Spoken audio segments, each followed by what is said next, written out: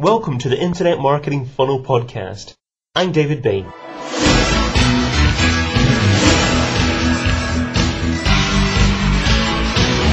Hi, and welcome to another edition of the podcast brought to you by InternetMarketingFunnel.com.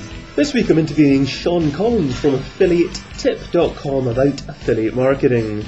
In this section, I asked Shawn to start off by telling us a little bit about his background before giving an overview of what affiliate marketing involves.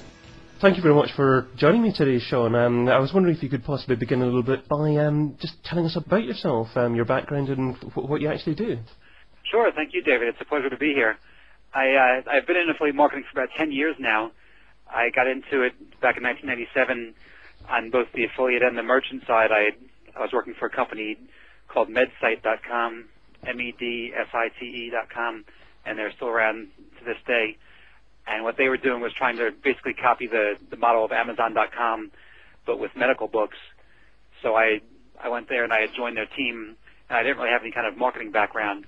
And I was sort of thrust into the position of running their affiliate program as well as other marketing tasks without really any understanding of what it was. So I had to learn really fast, and it was it was pretty tough back then because there weren't really resources. There weren't blogs or forums.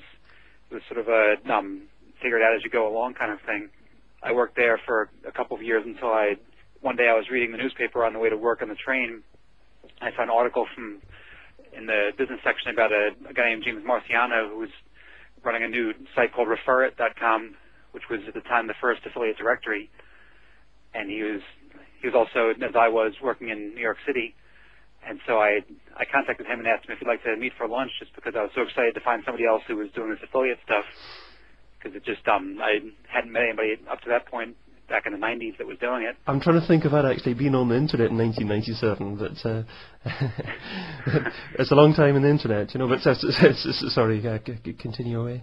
Yeah, and then I um so I met with him and I and it was purely just uh, I was excited to meet somebody else who could sort of speak the affiliate language and um, and I when I went there after we had a lunch, he asked me for my resume, and he'd assumed that I came there looking for a job, and I hadn't even really thought about that. I was just excited to meet somebody else to to talk shop with, and um, at the time I I wasn't really looking for a job, but it, as it turned out, I ended up leaving my job to work for him a few months later. so it um that worked out nicely, and, and I spent a a year or so working with with him at Referit.com, and then I moved on to to where I um, really started to make a name for myself at ClubMom.com, which launched back in 2000. It was a membership group for moms in the United States, and so um, so we I just sort of um, still there weren't really a lot of resources, so I just did a lot of things where I just sort of made up best practices for myself for my affiliate program and how to do things. And after I'd done that, I was sort of keeping notes of what I was doing, and I ended up getting a book deal on how to manage an affiliate program. So I I sort of chronicled everything that I was doing up to that point in this book, and it's it's still selling well to this day. It came out back in early 2001, just um, just different methods on how to run an affiliate program. And ever since then, I've been running affiliate programs, as well as since 2003, I started running the Affiliate Summit Conference, which is going to be in Miami, Florida, this coming July, and then in London in September. And I also publish a, an annual report called AffStat that has all kinds of different statistics on affiliate marketing. So it's sort of what I've come to today. Wow. Okay. So um, certainly one of the gurus on affiliate marketing. You know. So uh, if um, you were talking to someone who hadn't actually taken part in affiliate marketing before, someone who's perhaps either a marketing manager within a business or maybe an entrepreneur looking to um, start their own business or is already running their own business but knows a little bit about in, in affiliate marketing but really would need to know a little bit more before they got seriously involved in it, how would you actually describe the benefits of affiliate marketing to them? The way I usually describe it, and I'm not sure if this would be an appropriate description in the um, in the UK and different areas. But in when I was growing up, I'm 37 years old now. When I was a kid, there was a lot of um, people in the neighborhoods where I was growing up that would they're known as Avon ladies. They would go around and they would sell cosmetics to people door to door. Right, we have that here as well. Yes.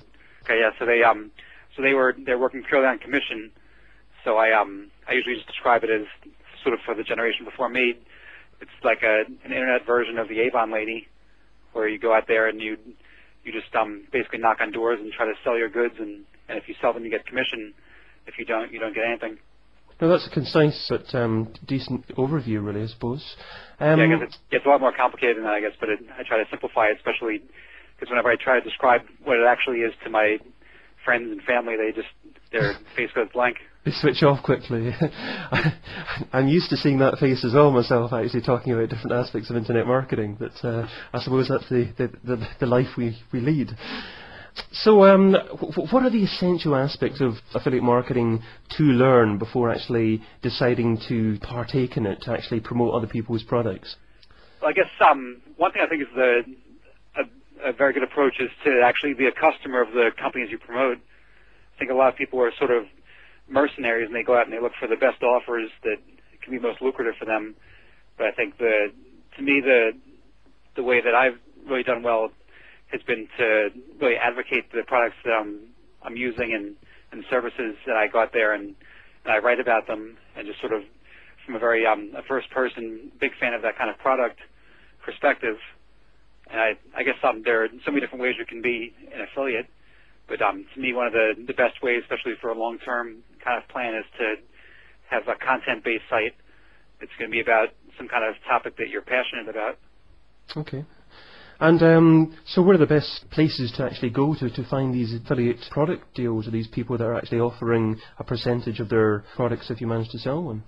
I guess um, my job with Referit back in the, in the late '90s, that was um, back then it was common to go to affiliate directories, but they've they've sort of become passe at this point. And um, to me, the the best place to find out about the the best uh, affiliate programs is um, one of two different places to go to the various um, affiliate marketing forums, and um, on a daily basis, there are three that I go to. I go to the affiliates4u.com, the um, abestweb.com, and wickedfire.com.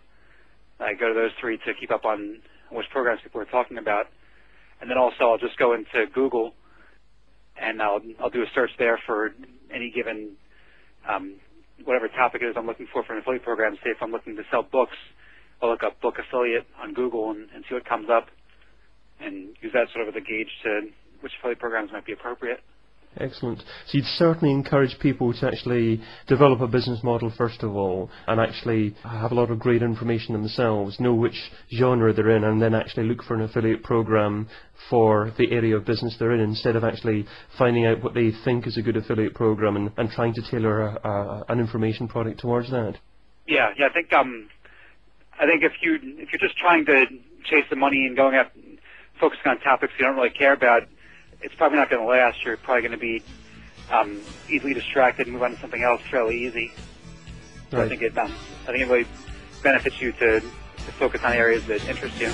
That's the end of this podcast, but you can subscribe to updates which tell you as soon as another episode is published at internetmarketingfunnel.com slash podcast.